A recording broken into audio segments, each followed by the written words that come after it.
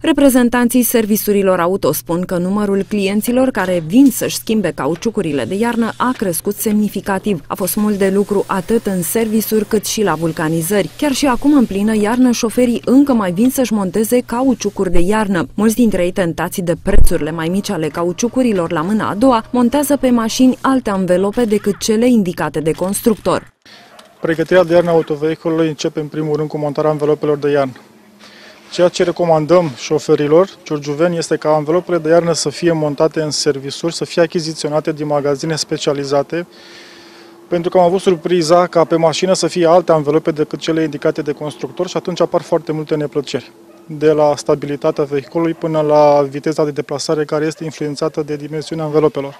La fel de importante ca și anvelopele sunt și ștergătoarele de iarnă, antigelul, lanțurile antiderapante și, nu în ultimul rând, racletele. Toate acestea fac parte din arsenalul unui șofer grijuliu. Ștergătoarele de parbriz trebuie să montate de asemenea și verificate, sistemul de spălare și de curățare al geamurilor, raclete, lanțurile de dezăpezit de roți să fie montate pe autovehicul, antigelul să fie verificat, să fie în parametri.